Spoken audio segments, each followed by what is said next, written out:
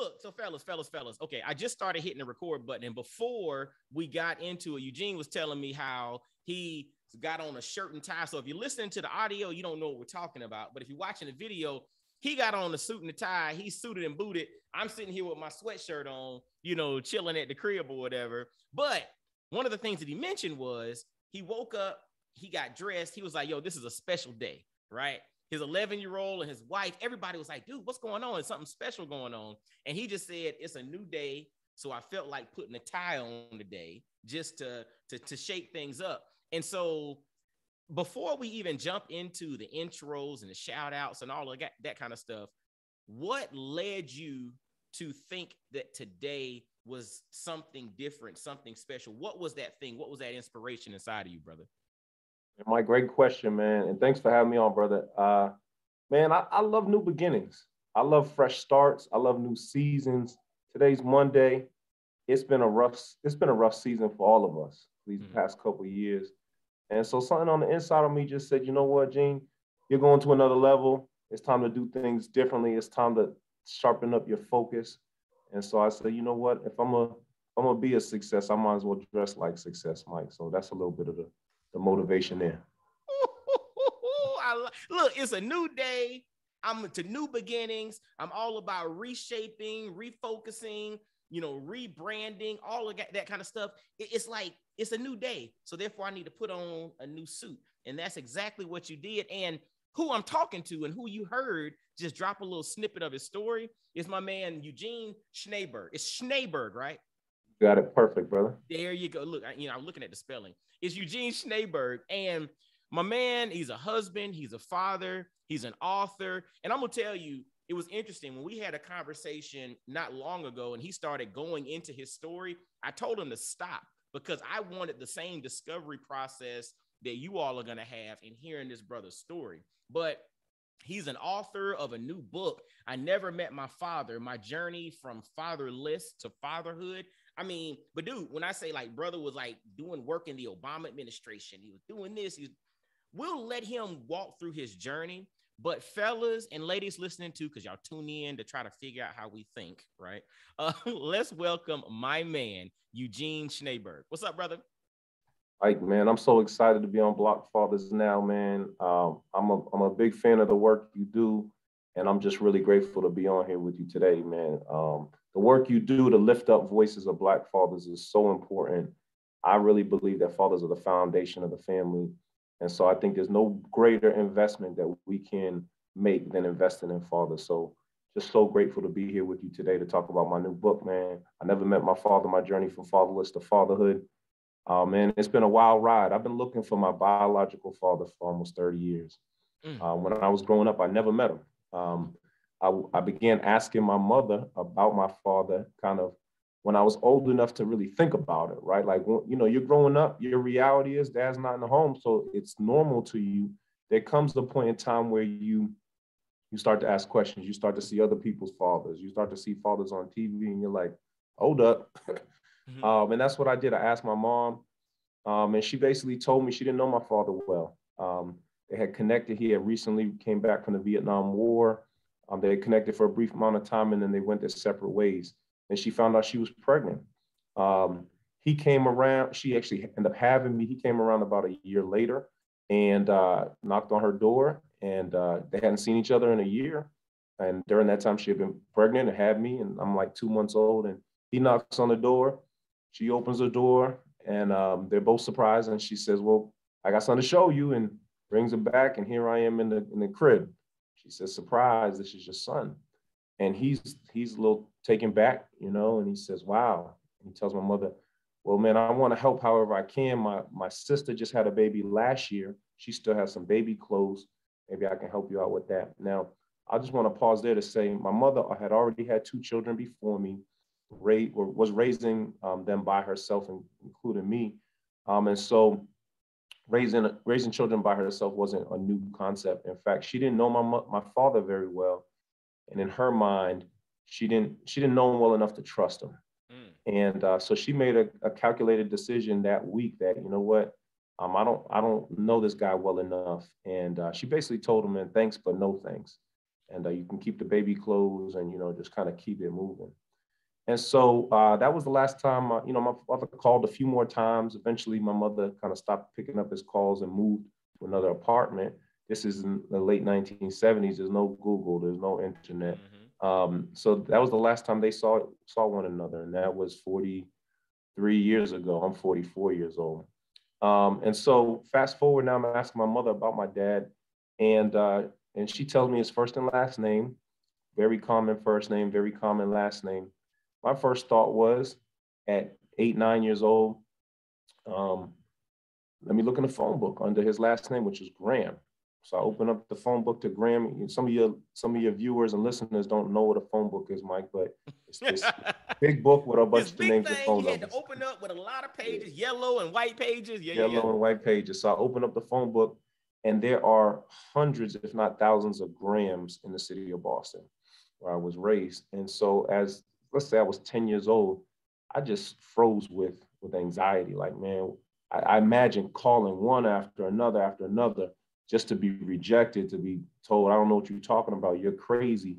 And I thought, man, I couldn't, I could never do that, you know, hundreds of times. Let alone if I did find the right family, what would I say? You know what I mean? At 10 years old. And so I never, I never, until much later, never made any phone calls. I just kind of suppressed those feelings.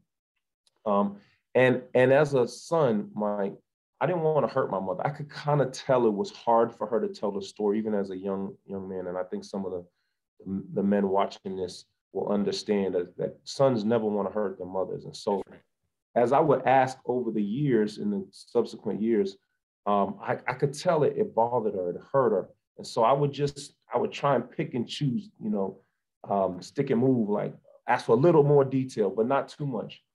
And then she used to give me like, if you do find him, don't hook up with him in person because he might kidnap you. Mm. And so these seeds of kind of fear and, and so forth was kind of planted. But anyway, long story short, um, I never really in earnest reached out to him till I probably was in my 20s to really try and find him when I kind of got my courage up. Um, and the internet had been invented at that point mm-hmm. reached out to actually called a couple Grahams from the from the uh, phone book, reached a couple with his with his name. They kind of told me politely, no, that wasn't them. It was awkward. Imagine calling a stranger and saying, "Hey, I'm looking for information. Are you my father?" And they're like, uh, "Who are you?" You know what I'm saying? Um, and that continued for many many years. Buddies of mine saw how how kind of important this was to me. Threw some money together and hired a private investigator for me on my behalf. Man, that that moved me so much. Powerful, man. Hired a private investigation firm they came up with no luck. They said, hey, I don't have enough information. We didn't have a middle name, a social security number, a, a date of birth, none of that pertinent information. My mother didn't know him that well. All I knew was that he was served in the military, about six foot three, uh, African American brother, had a Jheri curl, Mike. That was a very important piece of information. Had a Jheri curl in 1977. Anyway, um, so this journey continued. I kept praying, and all the while, God was kind of um, making it clear to me that this was somehow he was orchestrating this for my good. And after reading a book by Dr. Myles Munroe on vision and purpose, I got clear that really my purpose was was to help strengthen fathers and to help um, restore and strengthen families. And part of my pain was actually leading to my purpose. And so um, I ended up working for the Obama administration and and my guess where I ended up working working on his the president's fatherhood and mentoring initiative, helping. Wow, hold on, hold on, pause, pause, pause, pause, pause, pause, pause, pause. Like, okay, so you because you mentioned something, and I, I definitely want us to go back to it. You mentioned you didn't want to hurt your mother, but in reality, you were kind of hurting yourself in the process. So it's kind of like you assumed that pain or that hurt because you didn't want to put that on your mother because, you know, as a son, you didn't want to do that. But what's interesting, that is something like sacrifice to an extent, which mm. when we stop and we think about fatherhood now, what is it that we do day in and day out? If we're present in the lives of our children and our wives and, and all of that, is we sacrifice, right? We right. sometimes hide things from them and we take on burdens. And, and again, this is a challenge because, you know, now that we know better and we do better with therapy and, and all of that, but mm-hmm. for so long, you know, we have broad shoulders because we're supposed to, or we felt like we're supposed to carry these burdens. And so it's interesting how this led you down this journey of empowering fathers, of helping fathers, of working with fathers on a global scale, right? But from the jump, you were actually, like you just mentioned, you recognized your you found your purpose in this. You were being groomed for that by taking on burdens, which fathers inadvertently have to do as the head of, of households and you know in leading families. But before we jump into that, I, I want to take it back because usually when we start, I always have the brothers give shout out. So before we jump into your journey, cool. your story, I like for you to give some shout outs to those individuals who are kind of the wind beneath your wings to allow you to be who you are, to then inspire this amazing journey that we're about to jump back into in a second. Give me a few shout outs, but then let's let's jump back into this journey, brother. Absolutely. Uh, all right. Shout out number one has to go to my mother, mm-hmm. uh, Hannah Schneeberg, 80 years old this year. Uh, remarkable woman. Uh, you know, experienced a lot of trauma in her life and but was able to raise my sister and I by herself. And uh, without her, man, I, I, certainly wouldn't be where I am today. Uh, so definitely shout her out. Uh, she's a major part of the book. Shout out to my amazing wife, who we uh, met when I was 15 and she was 14, and we've been together almost 30 years. Wow. Um, and she is, uh, you talk about wind beneath wings. She, that's it. Uh, her strength, her conviction, really helps helps me day in, day out, and uh, raise our four children. So shout out to EJ 16, Genesis 14, Elijah 11, and Franklin 4. Um, and then shout out to my uh, my father-in-law who passed earlier this year, who was really my first example of a loving husband, a loving father. And I watched him love on his wife, love on his six biological children, their adopted son, and the dozens of foster children that they raised in their household. And uh, in many ways, I've modeled you know, my my view of what a father looks like and what a husband looks like after the late great Pastor Warren Collins. Mm, mm, brother, man, you, you got you literally when you say wind beneath your wings, you got like a typhoon beneath your wings, right? The way that you you know these inspirations, these stories, these individuals that are here that allow you to carry and do the things you're doing on a very high level. And so, kind of jumping back into your story, you know, you mentioned that this pursuit of your father, this pursuit of a father in your life growing up was in essence this basically the, the staking of what who you were to become as you evolve, as you grow, and as you become, you know, the man that you're supposed to be in life. But then you mentioned it led you down this path of working with fathers. And with the Obama administration, you were now part of working with fathers on a national or even a global stage, right? talk to us a little bit about that journey, what your role was, and, and the impact and things that happened there. Absolutely, man. Well, after I graduated from Boston University in my early 20s, my first job out of college was at a juvenile detention facility, working with kids that were locked up. And uh, to be honest, man, when I was growing up, I had it rough growing up without a dad, you know. So um, I had, um, I've been robbed, I've been shot at, I've been jumped, my house been broken into, all kinds of stuff. Felt really vulnerable as a, as a teenager. So anyway, when I got the opportunity to work at this juvenile detention facility, my first thought, if I'm being really honest, not politically correct, I said, do I really want to go work with these bad kids? The kid, the types of kids that had taken my lunch money and mm. you know jumped us and all that other stuff. Mm. But when I actually got in there, I was 100% wrong. These weren't bad kids. These were kids that just lacked opportunity, lacked you know positive influences in their life. Reminded me so much about myself and they taught me so much as a 21 year old working with these 14 and 15 year old young men. And that totally changed my life, totally changed my career trajectory, where I went on to work for a faith based nonprofit in Boston, helping young people when they're released from these facilities to get jobs back in the school, match with mentors, and, and reduce uh, gang violence. After doing that for several years, um, I landed on the radar of the Obama administration, where they essentially recruited me to come to DC to help um, support their youth violence prevention work and to, to expand their work to engage faith-based organizations. So I came down to DC.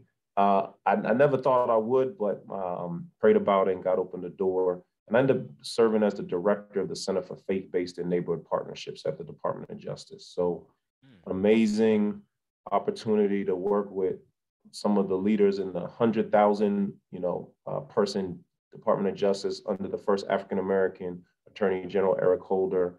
Uh, my immediate boss, uh, the Assistant Attorney General, has a, had a two and a half billion dollar annual budget. Just learned so much about how government works and work to make sure that um, what I had learned, kind of cutting my teeth doing this work in nonprofit circles, was able to kind of translate. So by the time I left after six years, we had um, conceptualized and put into practice um, new grant opportunities totaling about $30 million support uh, fathers who are incarcerated and their children. Um, recently released young people from juvenile facilities. We had expanded the administration's youth violence prevention work to 30 cities and helped them implement violence prevention strategies. So, man, it was a wild ride. I learned a lot. And during that time, I did have an opportunity to be invited to serve on President Obama's fatherhood initiative. In large part, you know, Mike, um, President Obama only met his father just a few times. And so that's a huge part of his story. He empathized with the plight of millions of young people who were raised without their fathers. And so, what a what an amazing opportunity to help advance that work. Um, the administration funded about $75 million to fatherhood programs every so every few years and was able to support that. And then when I left the Obama administration, I continued to consult and work to um, continue to promote responsible fatherhood. So that's what I, I, feel strongly called to do. My, my life's passion is kind of at the intersection of young people involved in the juvenile justice system, helping them to have more opportunities and make better decisions. And then this issue of fatherhood, which I think is so closely aligned. Let me just, I'll say this and then I'll pause. I was talking with a retired police chief a few years ago. And when I told her what I did, she said, You know what? I've been in law enforcement for 30 years. And she said, The single most determining factor with those who come in contact with law enforcement and the criminal justice system and don't is those who have their fathers at home. And it just blew my mind that she was that candid and that straightforward. And I've seen that play out time and time again as I've gone into prison after prison. And you can just see that the overwhelming majority of those men and women in there really had either no relationship or a bad relationship with their fathers. So if we really want to stem the tide of folks entering into the criminal justice system, again, I think the biggest investment we can make is the strengthening fathers, equipping them and giving them the tools they need to, to be in their rightful place in their, in their families and their household. Ooh, dude, I'm, I'm gonna tell you, it's um as you were talking, and you're probably familiar with his work. Um, and it's a book called The Boy Crisis.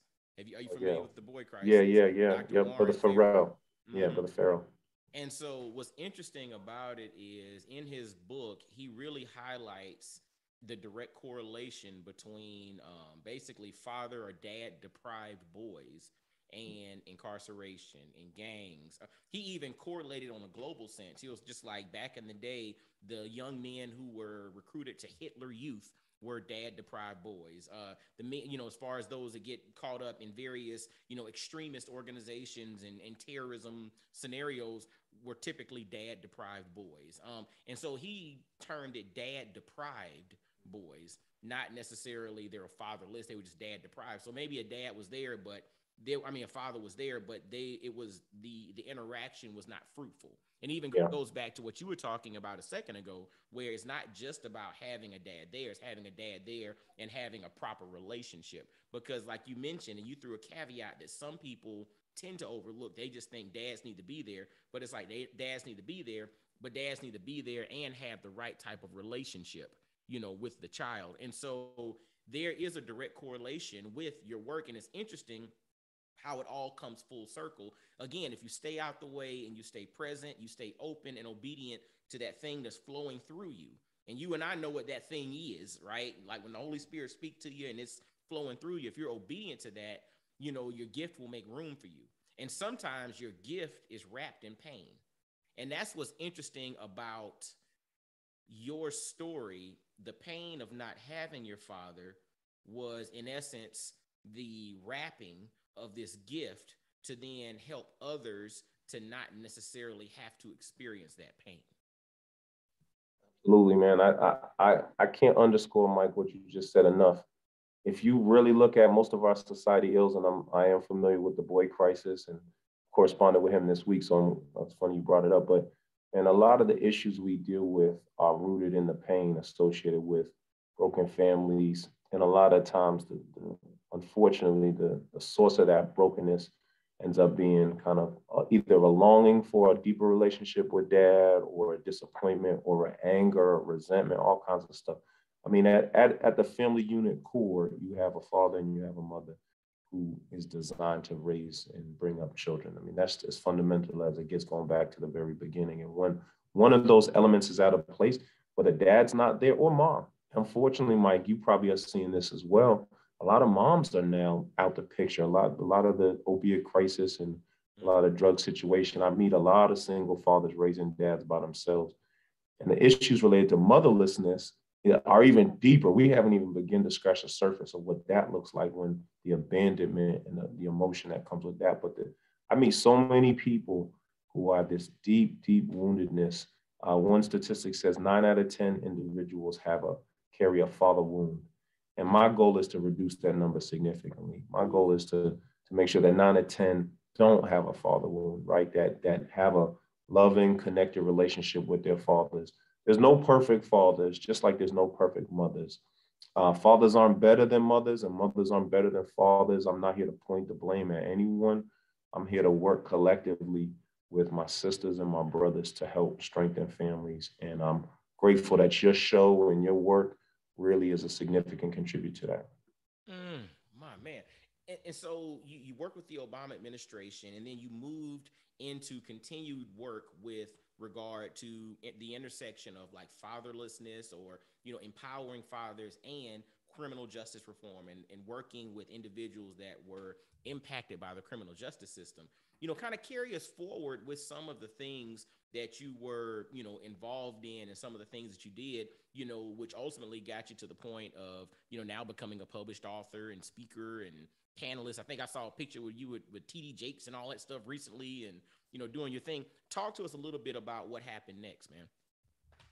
Yeah, you you talked about the the the spirit flowing through you, and um, you know, I would be remiss to say like, you know, my life would, would be jacked up if it wasn't for God in my life. That that was probably the single biggest thing that changed my life. But you know, I really try and stay in my lane, right? I think when you know what you're called to do, it makes it easier to say no to a whole bunch of stuff, right? Um, because there's a lot of good stuff out there. So that's my lane fatherhood, criminal justice, fatherhood, criminal justice. And unfortunately, the criminal justice system um, inherits a lot of people who are victims of brokenness, right? Um, and so I, I, like to work myself out of a job. I like to work to be so diligent and so collaboratively with people like you, Mike, that so few people even enter the criminal justice system that there's really not a much need to even do that work anymore. But because um, fathers are really the greatest protective factor in the lives of their children. Um, so I would do a lot of work with human service agencies, um, you know, uh, social service agencies, uh, fathers who have children and involved in the child welfare system, the foster care system, dads who are on child support, um, uh, fathers who are involved in Head Start and, and the like. But um, and then I also work with churches and other organizations to help support young people when they're incarcerated. Um, I do work on the National Responsible Fatherhood Clearinghouse, our mutual friend Kenneth Braswell on mm-hmm. fatherhood.gov to help um, promote resources and, and, around fatherhood as well. So, man, it's it's all kind of one and the same for me.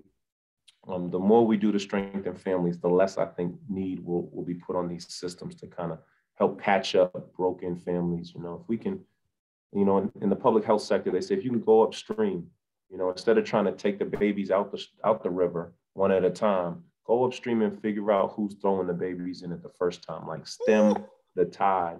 And so um, I believe by by working with um, young people before they even become parents, um, by changing the narrative and the culture in, in our society around fatherhood and and relationships and uh, and marriage, right? A lot of brothers, Mike, if you if we're honest, we know a lot of brothers that are a little scared to get married, or some sisters that scared to get married.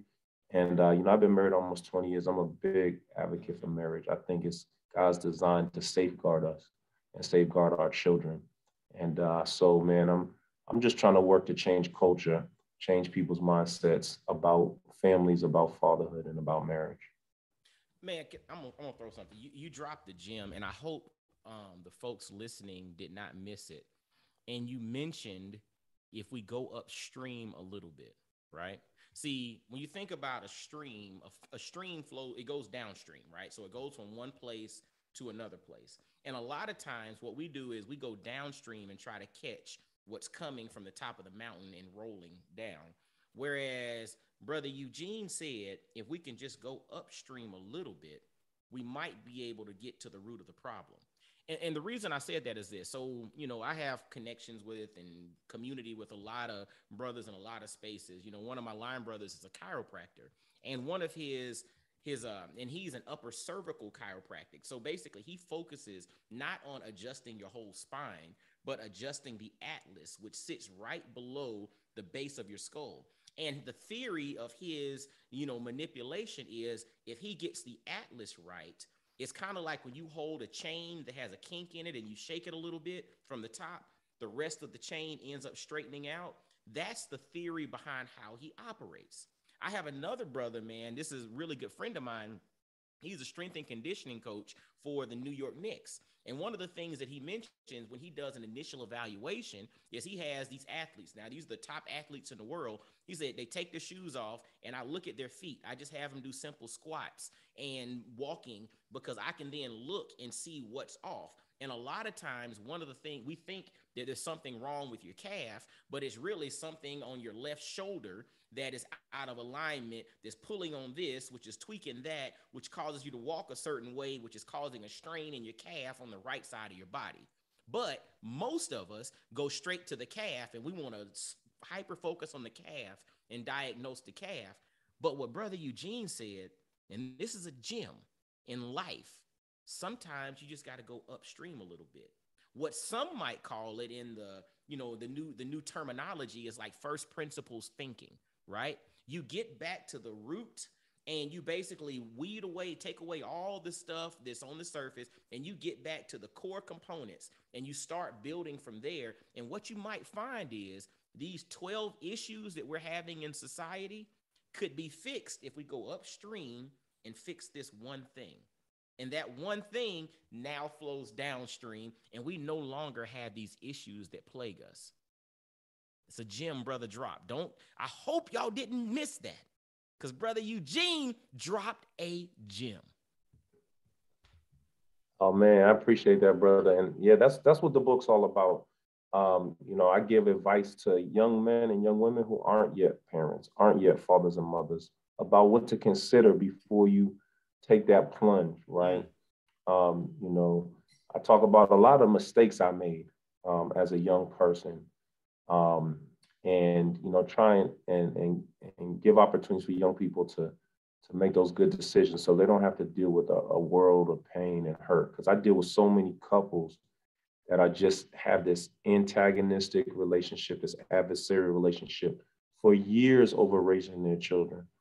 Um, and it's just it's just so sad to see and so and then i give advice for first time fathers right uh, you remember back when when you first had your child you know um, and so a lot of people think, Mike, that my book is only for fathers. They're like, oh, I want to give this to my nephew. I want to give this to my son.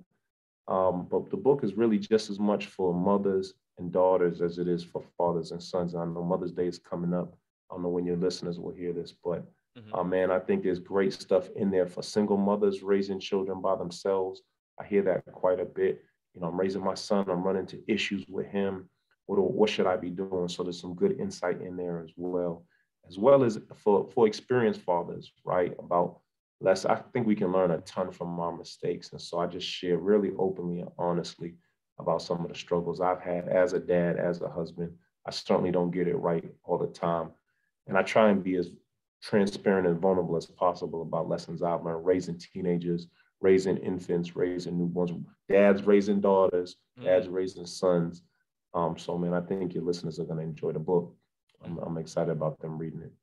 Man, dude, I'm going to tell you, um, insight is so needed and perspective is needed. And I appreciate the fact that you're sharing your story and your journey because a lot of times when you know, when it comes to quote unquote advice, I'm using air quotes here, advice, you know, folks are like, all right, you know, there's a skepticism there because, all right, well, who are you? Where do you come from? Are you sitting on a high horse? Are you waving your finger at me and telling me what I should or shouldn't be doing and all of that?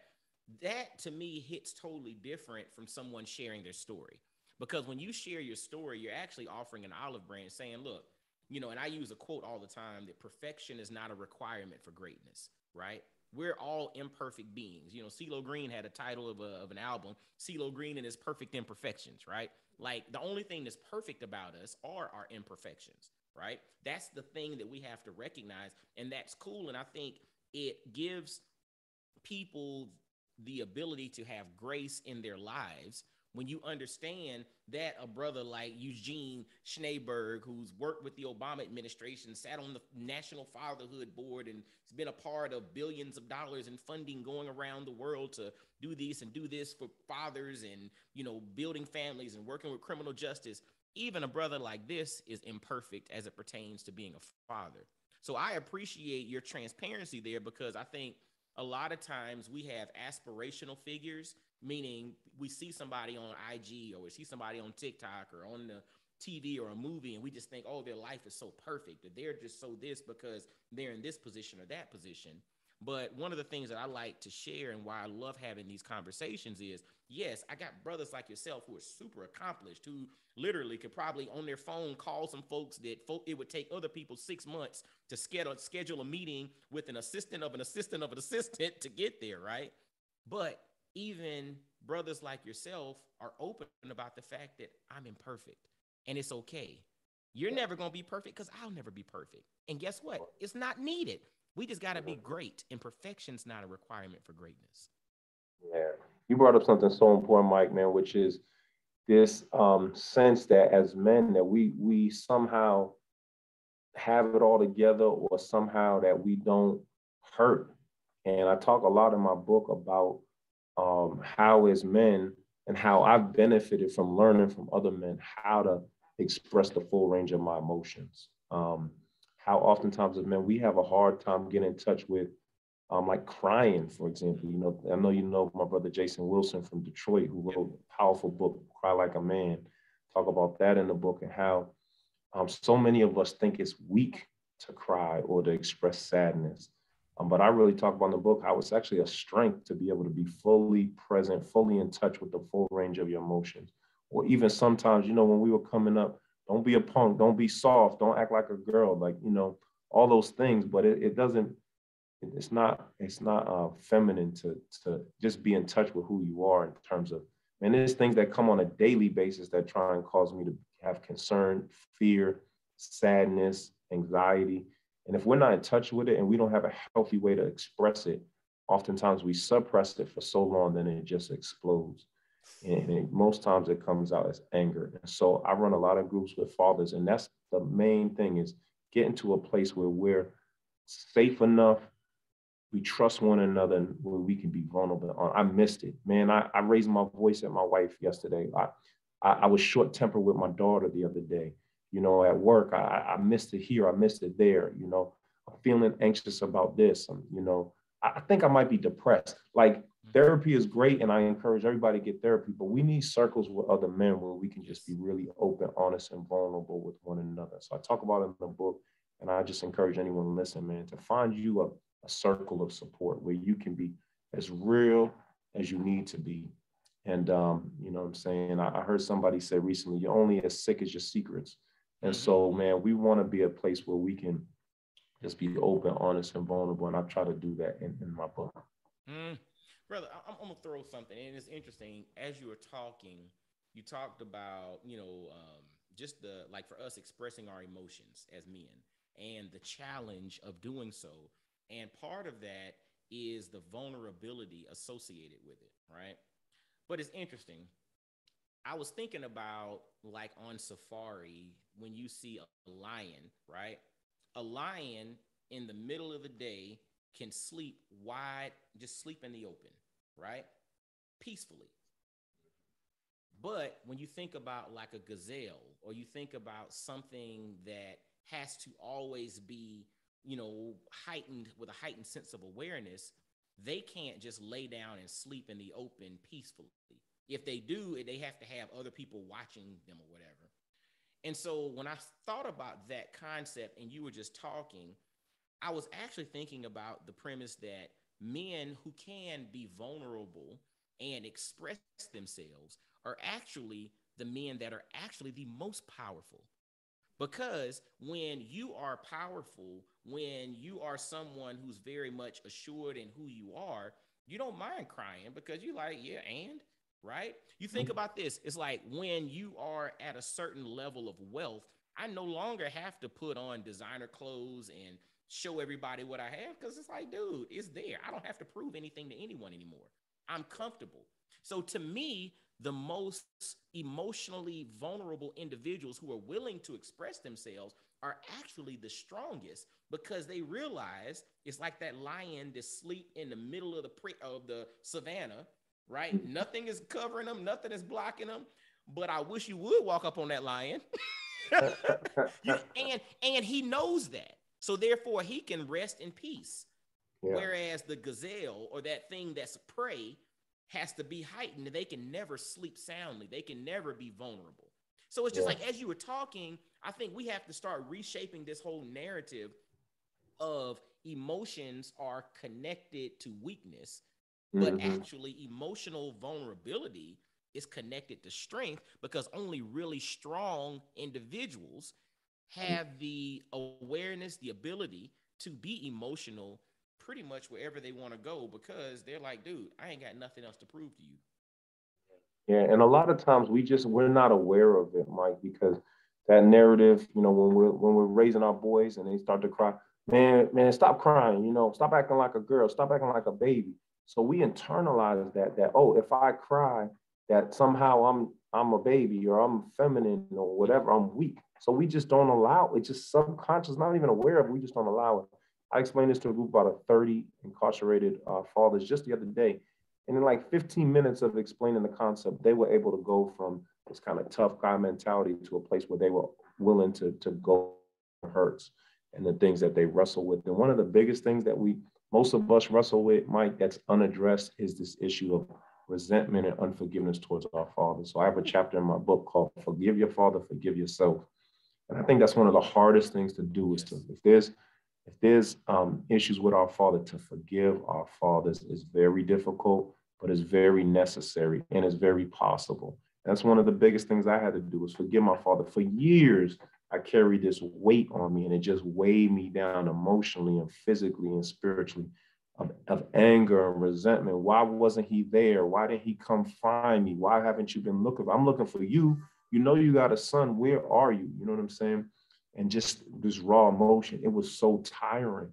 And when I was finally able to let it go and just say, you know what, I forgive this man. I want the best for him. I don't understand fully his story, what his relationship was with his father, the hurt and pain he's gone through, and how most of the stuff is generational. When I was able to finally release him, release any resentment I had towards my mother, then I could sleep soundly into that point about that lion. Now I get good night's sleep because I, I took that weight off, you know. And I challenge anyone listening how important it is for you to release and forgive. If not for your father, do it for yourself. You know, they say unforgiveness is like uh, drinking poison and hoping that it hurts the other person. You're really just hurting yourself, man. So, so do it for yourself. Release, forgive. I give some practical strategies in the book of how you can go ahead and do that. And trust me, it will make you make you an even better father to your children because you're finally able to get over that hump and be able to explore really what went on with you and your feelings and your emotions. If you don't address that in you, unknowingly, you pass on a lot of that stuff to your children subconsciously. Ooh. Ooh. Man, look, as we kind of wind this thing up, like, like, and you've given some snippets of this, but specifically, man, how has this journey come full circle to impact you personally as a husband and a father? Yeah, so um, personally, just being as real as I can. You know, I have four children. I've never met my father, and and I talk about later on in the book. I don't want to give it away. My journey. Don't, don't give actually, it all away. We're gonna. yeah, yeah, yeah. You you want to read chapter nine, how the story ends. Um, but for me personally, that that pain and that insecurity that I experienced as a young man, not knowing my dad, not feeling valuable enough, not knowing do I look like this man, what characteristics did I get from him. I believe that subconsciously I developed this drive to do, do, do, accomplish, do more, succeed, grind, hustle.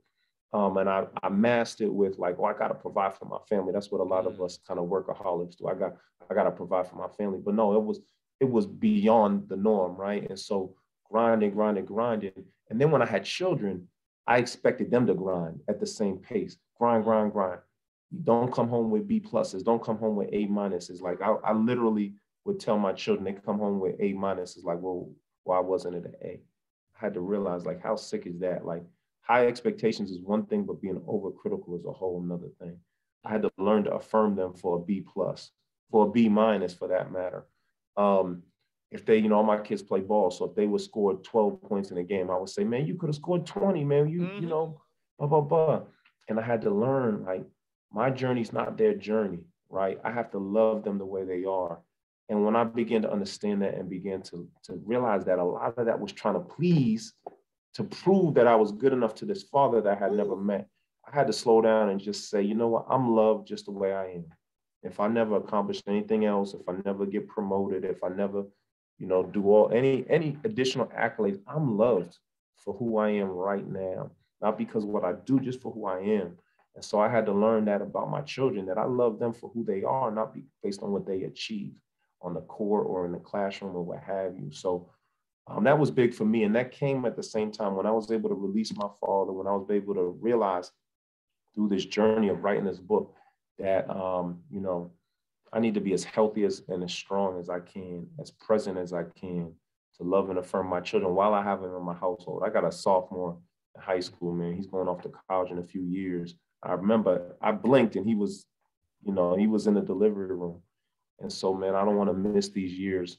Um, you know, I want to be present. I want to love on them. And so, this book, man, is is um, my attempt to to um, to make sure that as little children as possible have to go through what I went through. Right. I want as many children to know the love and affirmation that a father has, the safety and the security of having your dad present with you and uh, my, my hope and prayer is, as I know it is yours, Mike, that, that more men have the opportunity to do what they were created to do, and more children have the opportunity to experience the love, the unconditional love of a, of a father and a mother.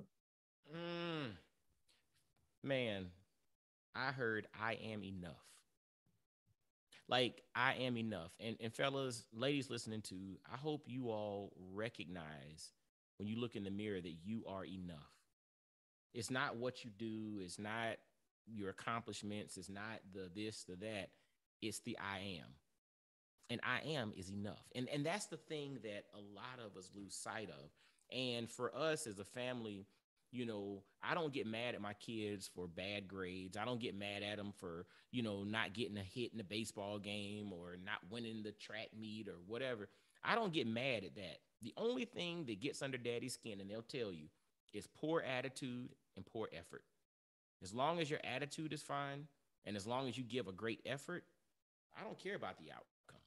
See, I'm and that's the thing for me as a father that I've had to evolve and grow into because society pushes you down in, you know, down the pathway of the outcome. It's the outcome, it's the outcome, it's the outcome. But the reality is we have no direct control over the outcome. The only thing that we can control is the input, not the output, right? And that's something that as a parent, you know, my kids are going to follow their own path and I'm here to enhance the journey, to direct them, to show them the way, to model and, you know, show them how I treat my wife and how, you know, all of that stuff. We have to model these things. But the reality is we celebrate when they're nice people. We celebrate when they do something kind for someone. We celebrate when they work really hard. And that working really hard results in a C or the top grade in the class. I don't care. I just want to know that you worked hard and you gave your best and you brought the right attitude to the table. And so I hope you listened to what my man Eugene mentioned about he recognized that he was enough. Once he released his father from the bondage of, of resentment and he forgave, he recognized that he was enough, and that then spilled over into him as a husband and a father. And all this you can catch in his book, I Never Met My Father My Journey from Fatherless to Fatherhood. Um, and now, where can the where is the book available? Where can folks grab it? Um, and also, like social media and everything, how can folks follow you and get more insight from you, brother?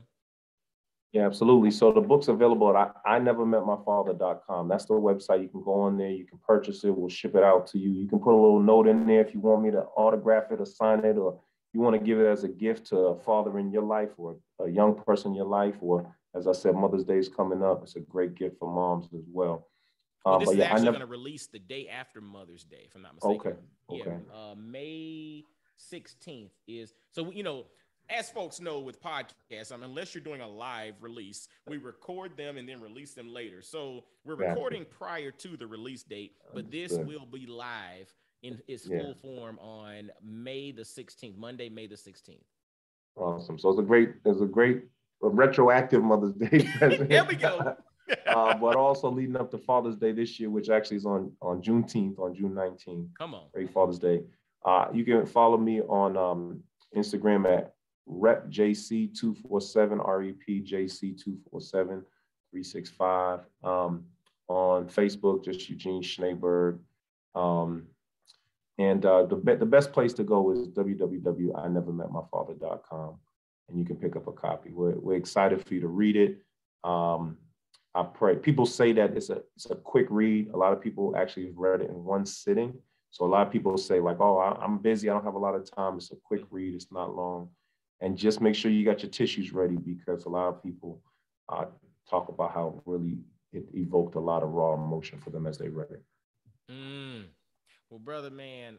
I, well, first off, before we finish, we got to give a shout out to our man Jackson Drungle for being the the bridge connecting the dots here. And um, so thanks, Jackson. Shout out to my man for for linking this up. He was just like, Mike, there's this brother you need to meet. I'm gonna put y'all on a text thread. Y'all take it from here. And man, it, it's yeah, I, I, was just like, yeah, brother, you brought you brought a hit on. I, I, appreciate you. So thank you to Jackson for linking us up, man. Yeah, it's a good brother, man. It's a good brother. There's a lot of good, a lot of good good ones out there, and I'm and that's another thing, man. There's so many great fathers out there. Shout out to the fathers listening. We get a bad rap, man. There's so many extraordinary fathers that I met that just love and care for their kids and uh, so grateful for each father listening and so grateful for each mother listening. The extraordinary uh, sacrifices that mothers make. Oh man, I'm grateful for an amazing mother that I have and that my, my children have an amazing mother as well. Awesome, awesome, awesome. Well, Eugene, I salute you, my brother. Keep up the doggone good work, man. You're impacting lives. You're in your lane. You're not staying in your place. You're staying in your lane. So you're flowing in the direction that you're supposed to flow and you're allowing that thing that's flowing through you to get out to the world. And I appreciate you for it. We're all going to be better for it. Y'all make sure to visit I never met my father.com. I never met my father.com. Grab a copy of his book. Hit him on social media, link up with the brother. If you don't know about him already, let him know you heard about him on Black Fathers Now, and um, and continue to encourage him to keep letting this thing flow through him because his story is going to help somebody else, but allow that to inspire you that your story can help somebody else as well. And so, brother, thank you so much for your time. And as always, y'all follow Black Fathers Now everywhere on social media. Um, share this episode out. And until next time, y'all be blessed, well, and wise. And I'll holler at you. Peace.